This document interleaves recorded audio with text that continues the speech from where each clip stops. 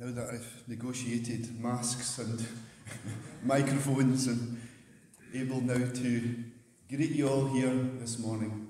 A warm welcome to everyone who's here today. It's lovely to see you all.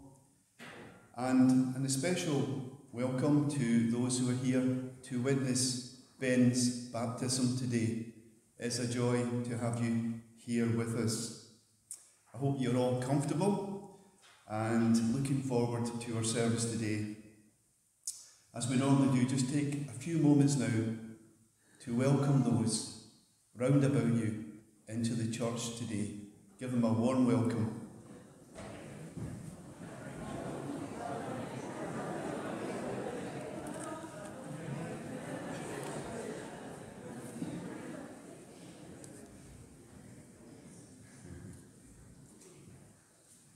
Just before we start, a few intimations. And this is firstly to elders. If you haven't already done this, could you pick up the communion invitations from the vestibule? Also, Pat will be outside the church after the service with flat pack shoe boxes. It's getting near that time of year again. And leaflets. And the closing date for handing them in is Sunday, 14th of November. So that's for our shoebox appeal this year. Thank you to all who have donated to the Lodging House mission for our harvest offering. And if you haven't done this yet, there's still an opportunity. There are Lodging House mission envelopes available, and you'll find those on your way out of church this morning. And if you can, if you gift aid, then just fill in the envelopes with your details. You can also go online to the Lodging House mission, where they will benefit from your donations. The Kirk session meets tomorrow evening at 7 pm on Zoom. And it is with deep regret that I intimate the passing of Sheila Miller. Sheila's funeral service will be here in the church on Friday, 8th of October at 12 noon. I commend her family and her friends to your prayers.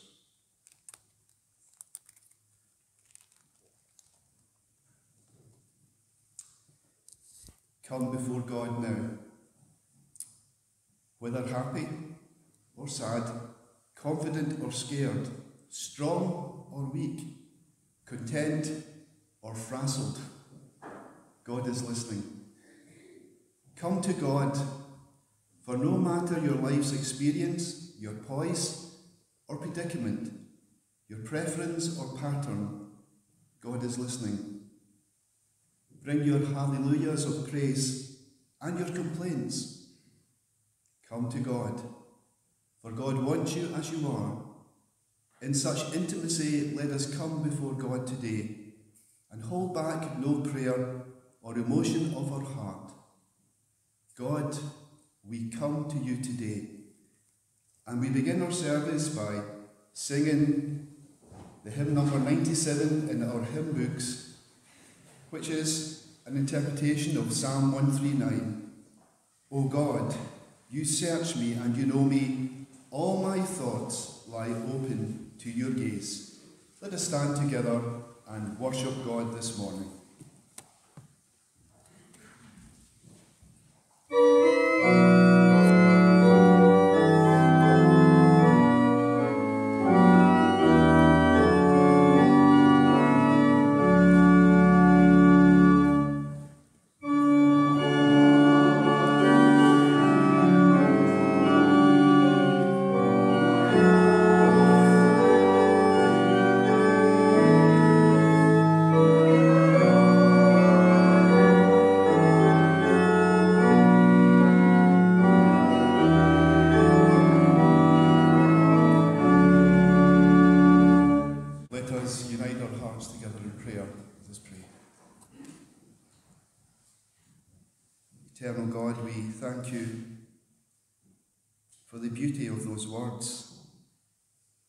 that you know us. And so we come to you today, for you are our strength and our Redeemer. You are our light in every darkness, our source and our care. We thank you that you are the way, the truth, and the life. And so we join this day as a family here, certain, yes, and at times uncertain, in awe of your undying love given to us and to all. We come to give thanks for all that you give and all that you do. Glory be to you, our God. Look on us, your children, with care. Pour out your compassion on we who are conscious of our failings, of our inability to always live up to what you desire of us. Forgive us when we fail you, and help us to walk in your way, living out your truth and experiencing your life. Help us to know that through your grace, we are for, forever forgiven, freed to live lives bathed in your love. Glory be to you, God, our strength and our Redeemer, our way, our truth, and our life. Glory be to you. Be with us today as we worship together, as we listen to your words as we are guided by your Spirit. Hear us now as we say together the prayer that Jesus taught. Our Father in heaven, hallowed be your name. Your kingdom come, your will be done on earth as in heaven. Give us today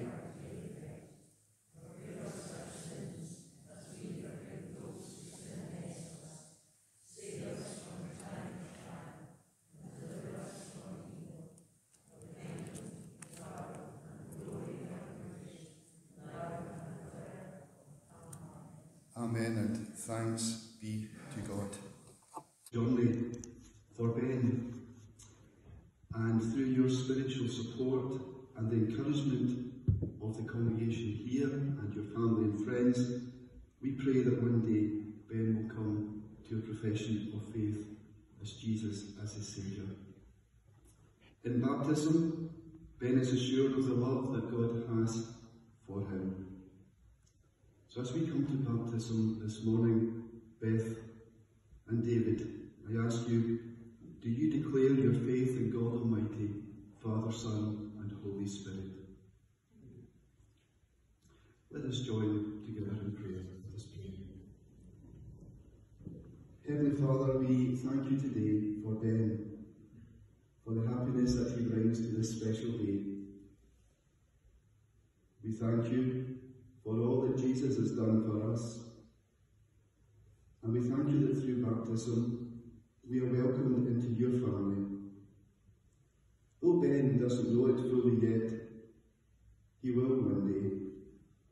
And we love you, Lord, because you first loved us. So bless Ben, we do pray. In Jesus' name. Amen.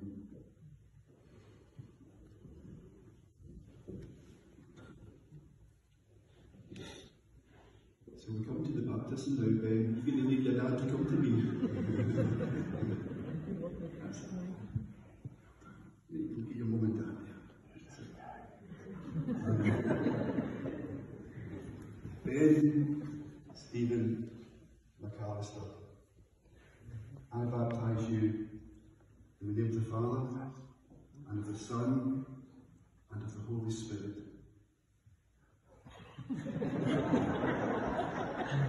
May the Lord bless you, and may the Lord keep you. May you know His blessing all the days of your life.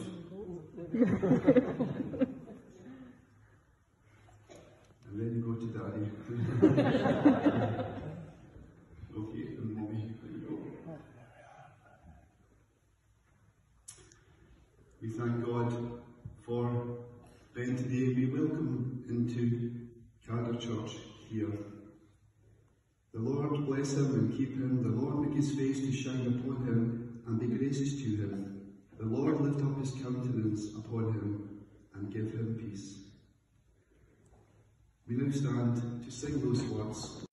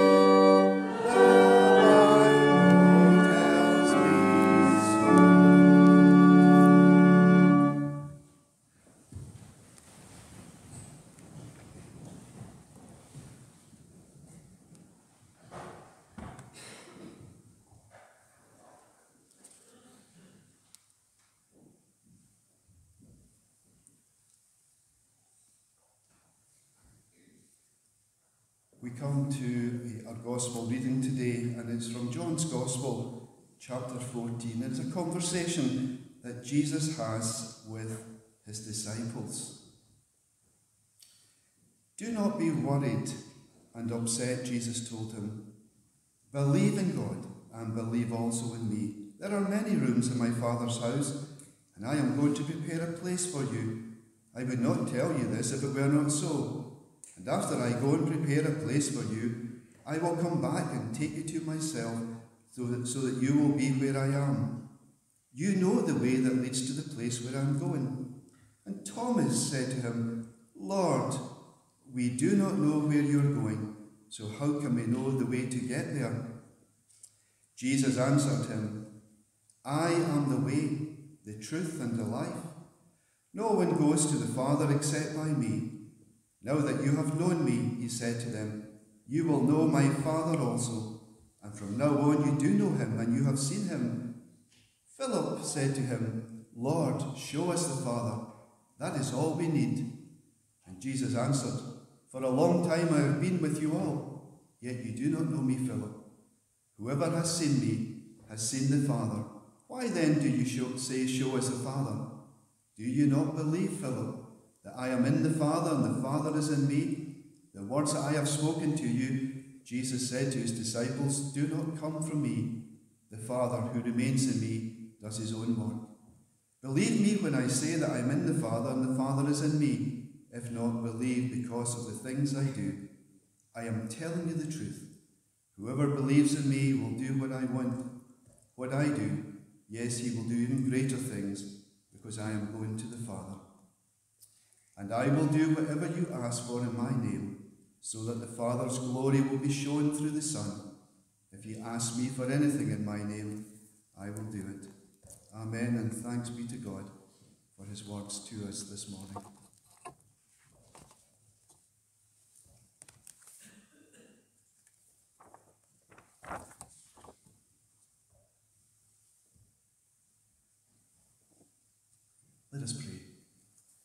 Lord, as we come now to listen to a reflection on these words, help us, Lord, to understand and help us to draw closer to you.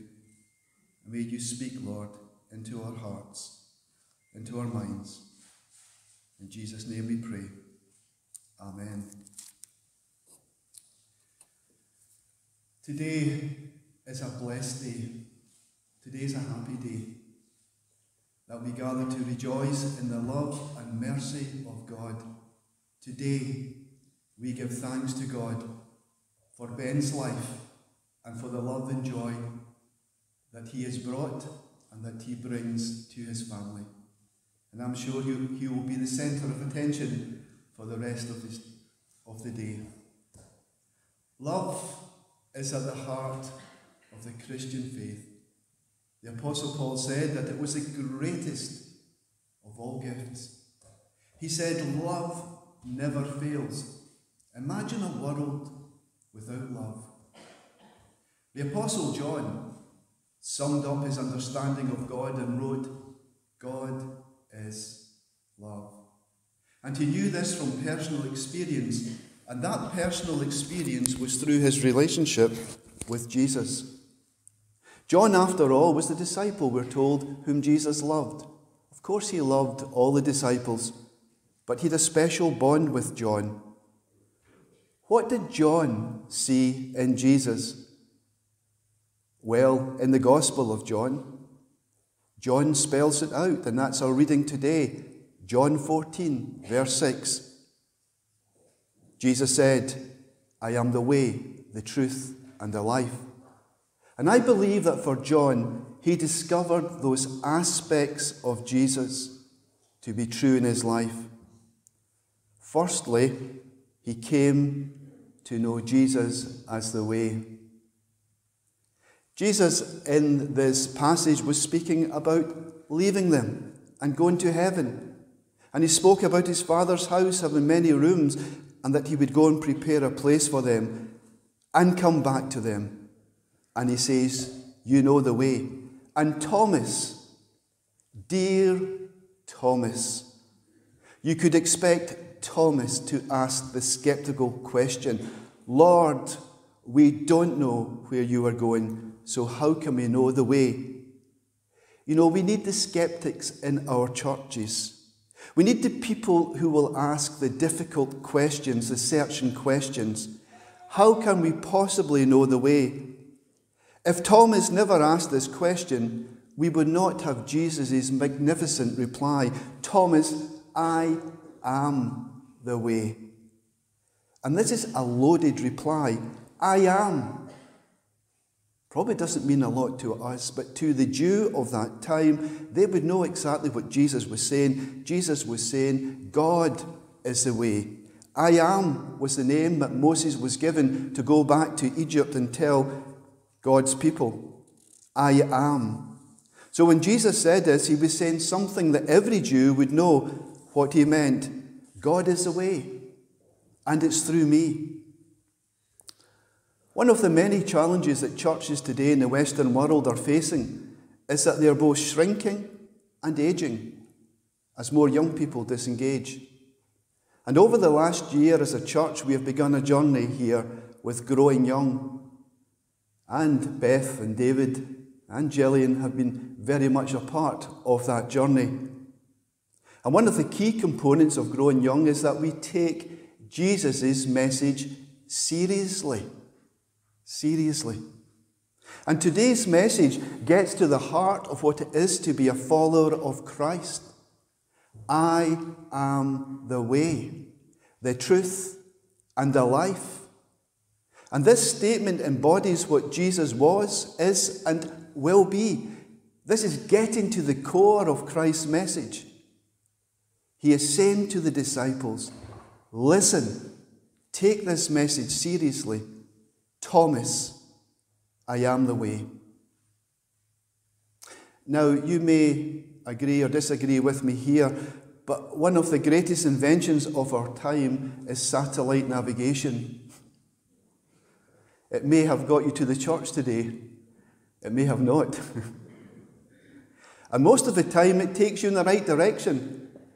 It is certainly an improvement to the old method, I think, of asking someone for directions. Take the first to the right and the second to the left, pass the pub and take the third on the right, and the road you want is fourth on the left. You can't miss it. And if you're anything like me, and I'm sure we've all been there, to be honest, by the time he gets to the left, I'm totally lost. There was a moment in my first charge in ministry when I went to Springburn Co op. I was to take a funeral service eh, at the, at the parlour and then on to Maryhill. And for the first few years of my ministry, it was always that way Springburn, then Maryhill. But on this particular day, I arrived at Springburn Parlour in good time to be told when I arrived the service has been held at Duke Street Parlour. Now, a lad from the country who didn't know Glasgow too well, particularly the East End, they told me it would be easy to find. And this is before mobile phones and satellite navigation. And so I headed down. But could I find the parlour? Panic set in. Every second was vital. Have you been in a situation like that or similar when you are desperate to know the way? So I stopped and asked a man if he could point me in the right direction. And he took about three to four minutes, precious minutes, trying to explain where I should be going. I eventually said to him, My friend, would you like to jump into the car and take me to the parlour? As time was of an essence, you should have seen the look on his face. But he said, Okay. And so I was there at the parlour in minutes and in time for the service. Panic over because someone explained the way and took me on the way. I can only imagine what he told his wife that day, that night when he got home. I was out for a loaf of bread, kidnapped by a minister, and released after the service. Jesus said to Thomas, I am the way. I will come back and take you to be with me. And in those majestic words, we have the beginning of the journey of faith. Young people will find it hard today to join an institution. That's a fact. But tell them that there is a way in life that is unique to being a Christian, and it involves a journey. And then we might just catch their imagination. Jesus does not only give advice and directions, he literally takes us by the hand and leads us on the way. He strengthens us and guides us personally every day. He does not tell us about the way, He is the way. And the truth is that we all need a way to walk in. When left to our own desires and our own choices, our way is usually the wrong way. But for those who follow Christ, literally following in his footsteps, you will find that they are walking in God's way. As a young person, I came to faith when I was 19. Before that, I had little interest in the church or religion. Just didn't appeal to me.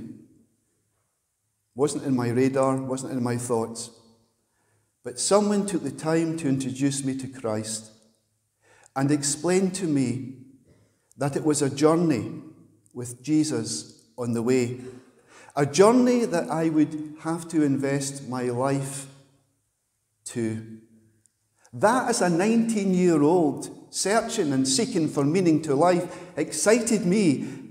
And so, all these years later, I believe that because of that decision, I'm still on the way following Jesus. But Jesus also said, I am the truth. And when we walk in the way, we are walking in the way of truth. Again, many people will tell us about truth, but only one claims to be the truth. I know it's a big claim, but that's what Christ claims to be the truth of God. And there was only one good enough to make this claim, and that was the perfect Son of God who embodied the truth of God. In referring to himself as the truth, he is highlighting that he is the truth that all scriptures and all history were pointing to. Of course, if we read our Bibles, we will discover that it says much more than this that he describes himself as the source of life and that all things were created through him. Big claims indeed. What is truth, said Pilate, as Jesus stood condemned before him? It is a question that we might ask what is truth? And little did Pilate realize that before him stood God's truth. Jesus being the truth means that we can stand before him, and there is nothing that we cannot ask him. He is the Word made flesh, the very Word of God. If he is truth, then he is trustworthy, and we can depend on him. That's what he was saying to Thomas. I am the way, you can trust me, for I am truth. We live in a world where lies and untruths are evident in all spheres of our society today. There is lies, untruths, people covering up. And we ask the question who can we really trust today? It is refreshing to find someone who is the real thing. And what Christ said and what he did matched exactly this we call integrity. And when Jesus says, I am the truth, it is a powerful, exclusive statement. He is saying, You can trust me with your life. But he also said that he was the life. When we walk in the way, when we live in the truth, trusting him, we experience his life. I was down to Tarbert recently, visiting my mum, and there's a small church of Scotland on the banks of Loch Fyne. And outside it, there is a new sign. And believe me, if you travel that road from, Tar- from Glasgow to Tarbert often, you will notice a new sign. And the new sign outside the church of this old building simply said two words Jesus lives. And it made me think, wow, they're not advertising church services. They're not advertising everything that goes on in the church. They're making a statement. A statement that in this church, Jesus lives. In Christ, we discover the life of God.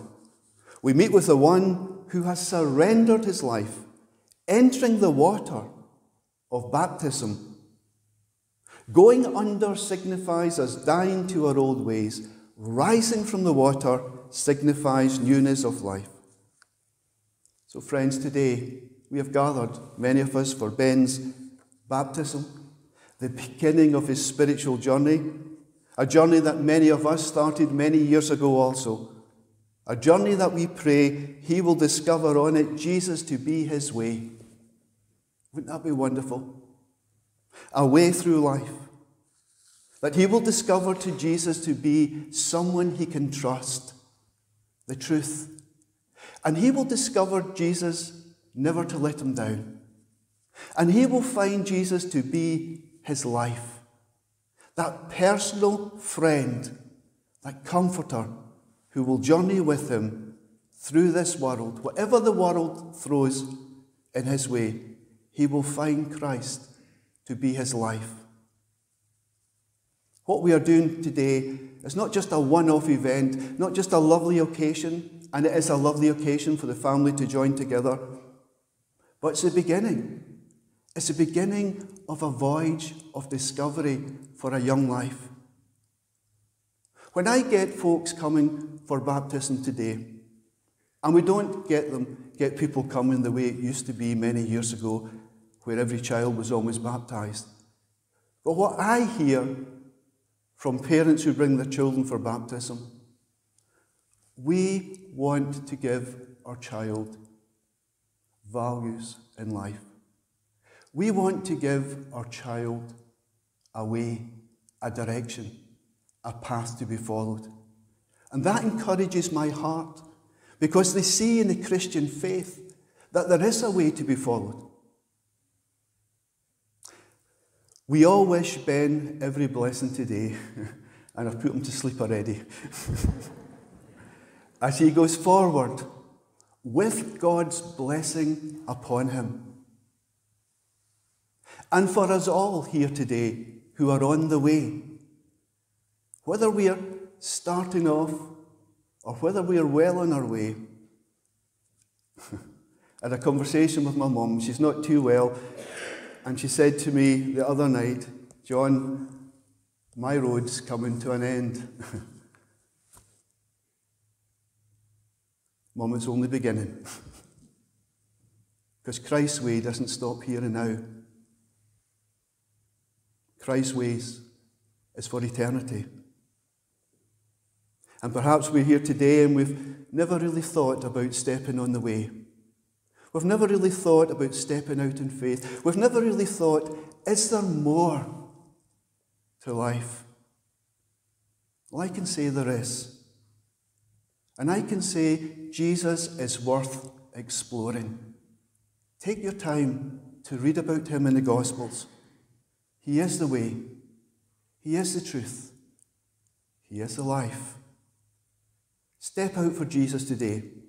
Trust Him, receive His Spirit, which will give you life. Life, Jesus said, in all its fullness. Amen, and thanks be to God.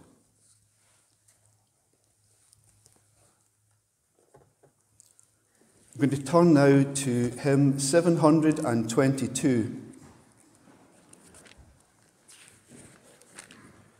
Spirit of God, come dwell within me. Open my heart, O come set me free. Fill me with love for Jesus my Lord. Come, fill me with living water. 722.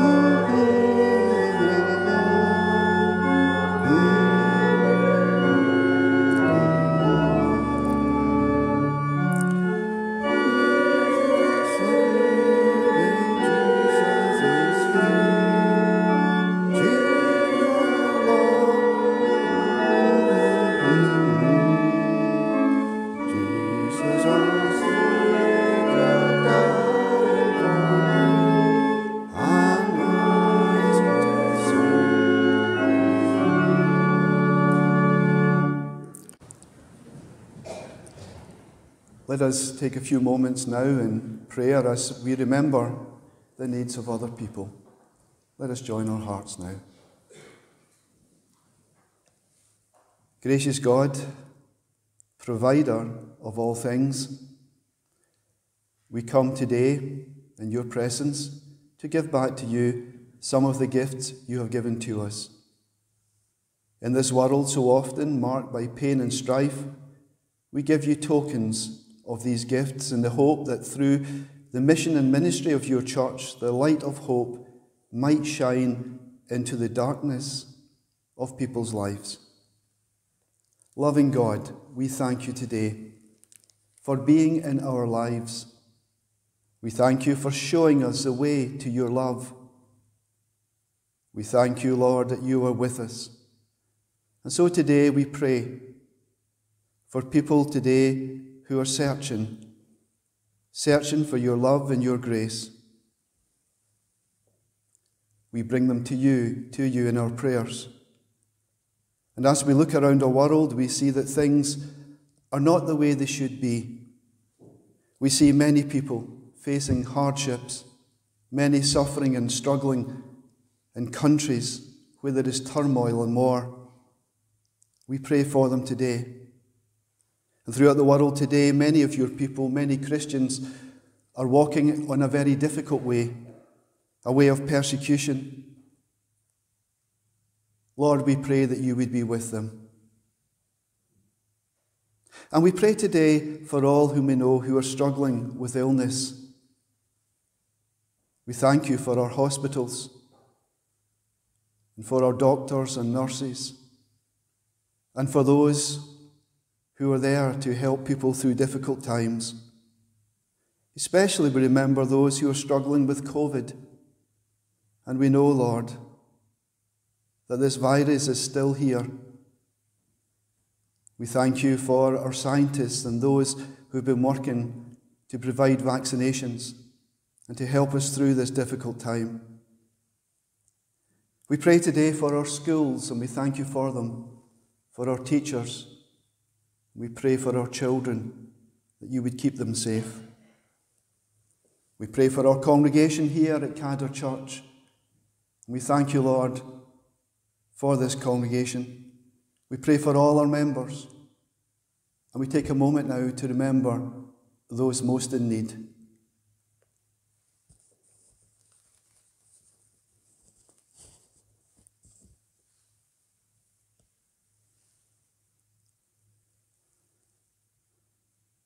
And Lord, we bring to you those who grieve, and we remember the Miller family this week, especially, and we pray for them and we uphold them in our prayers. So, gracious God, we make these prayers in the name of Jesus Christ, our Lord and our Saviour. Amen.